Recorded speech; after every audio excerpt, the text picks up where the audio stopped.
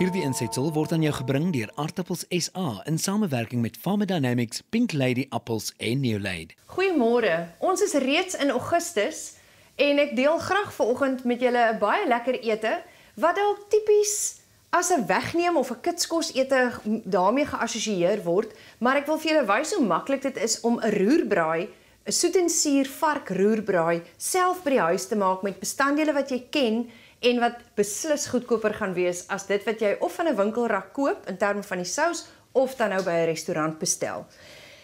Al die beginsels wat ek toepas in vandag se resep pas perfek by dit wat Cooking from the Heart ons ook leer en ons gebruik nou al vir 'n lang tyd van die verskillende resepte en ons sit dit miskien elke keer op 'n ander manier voor of gebruik 'n bestanddeel wat die hele beginsel van gesond eet onderstreep en vandag wil ek met Pink Lady appels wat nou in seisoen is en heerlik soet is, juis dit gebruik om daardie soetsuur smaak te skep wat 'n mens nodig het vir 'n roerbraai.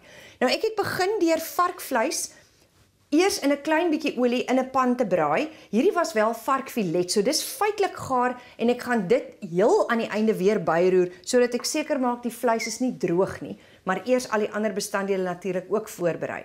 En dan het ek nou hier in die pan soetrusie repe wat klaar gesorteer is en ek het ook van air dried se droë butternut gebruik. Nou as ek dit vir julle hier wys, is dit letterlik soos droë vlokkies, maar ek het dit eers geweek, met ander woorde gerehidreer en water bygevoeg, dan lyk dit soos vars botterskorsie wat ek nou net gerasper het. So dis 'n wonderlike produk as jy byvoorbeeld gaan kamp of gaan stap en nie al die ander elemente by jou het in 'n vars vorm nie, maar lus het vir die gevoel van groente en dan kan jy dit natuurlik baie maklik inpak. Dis 'n ligte pakkie en jy het min nodig want onthou dit swel uit en word heelwat meer. So dis 'n fantastiese produk om dan ook beskikbaar te hê wanneer jy nie noodwendig die vars produk het nie.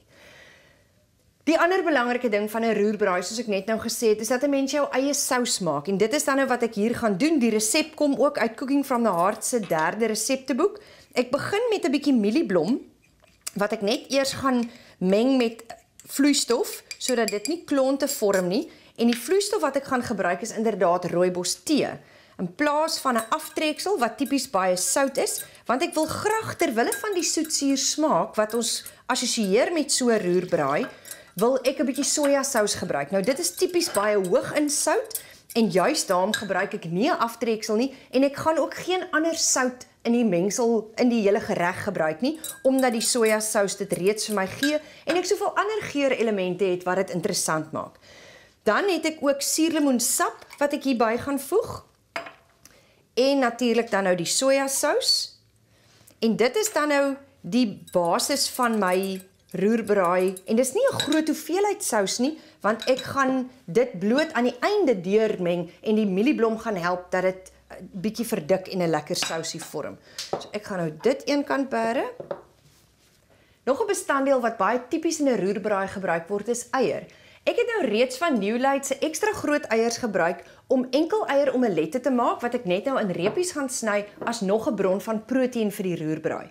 Terwyl julle nou terug gaan ateljee toe, gaan ek die roerbraai klaarmaak met die ander groente, die sous, die vleis en die appel en dan gaan ek dit op klein baba aartappeltjies voorsit wat ek besig is om te kook in min water en ek gaan julle net nou 'n paar wenke gee oor aartappelkook, maar dit sal ek dan nou doen as ons terugkom, dan bedien ek die roerbraai op hierdie klein aartappeltjies. Baie lekker ete. Ek sien julle net nou weer. Besig om gou 'n paar klein baba aartappeltjies wat ek in die skil gekook het net te breek met 'n vurk want dit gaan die stysel wees waarmee ek 'n roerbraai voorsit. Nou ek het die roerbraai nou klaar gemaak. In die eerste gedeelte het ek verduidelik dat ek begin en is baie belangrik met 'n roerbraai dat jy jou groente in sarsie sorteer sodat dit nie begin vog uitstoot en op die ou ende kook en nie sorteer nie. So ek het begin met ehm um, soetrusie, repe soetrusie, gedroogde botterskorsie wat weer gerehidreer is sodat dit soos vars gerasperde um botterskorsie lyk en dan eh, al die verskillende groente, appel, kool, boontjies, vars gemmer, als deurgemeng, self 'n sous gemaak. En voor jy nou bekommerd raak oor die hoeveelhede, die resep sal soos altyd op my webwerf beskikbaar wees. En varkreepies wat ek voor die tyd verbruin het, is dan nou ook hierby ingeroer en dit is 'n pragtige kleurvolle mengsel wat ek dan nou op die aartappels gaan voorsit.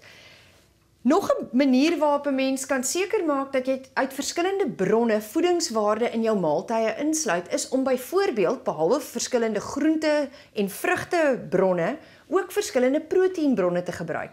En aangesien vleis heelwat duurder is as byvoorbeeld eier, is dit 'n maklike manier om met 'n paar reepies vleis of 'n paar stukkies vleis en dan nou eier dit heeltemal 'n vullende maaltyd te maak.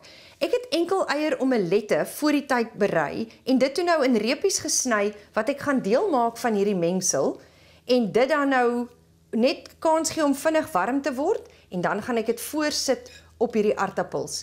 Nou jy kan omtrent 'n eier per persoon gebruik. Dit gee 'n heel ruim porsie op die ou einde en al wat jy dan nou nodig het om seker te maak dit word met die sous bedek en die sous was basies klein bietjie mielieblom met sojasous, suurlemoen en rooibos tee wat dan nou net genoeg is om die bestanddele te bedek sonder dat jy te 'n souserige eindresultaat het want dit moet darm nou nie pap wees nie.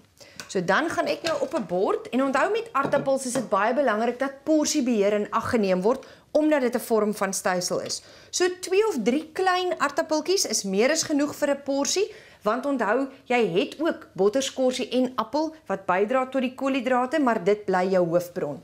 En dan is Italiaanse petersilie en kruisement baie lekker in hierdie roerbraai. So ek gaan sommer 'n paar blare opskeer wat ek deel gaan maak van die roerbraai ook, maar my aartappels daarmee geur. Nou die aartappels is in 'n klein bietjie water gekook.